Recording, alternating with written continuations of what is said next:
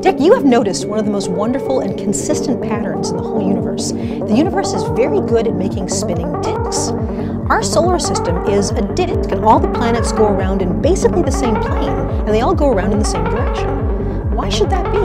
There are disks all over the place. I mean, think about the rings of Saturn. The rings of Saturn are also very, very thin, and they all go around in the same direction. Galaxies, spiral galaxies are one big disk with everything moving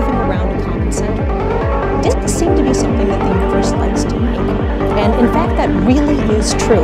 And it has to do with a number of things. It has to do with the force of gravity and something called the conservation of energy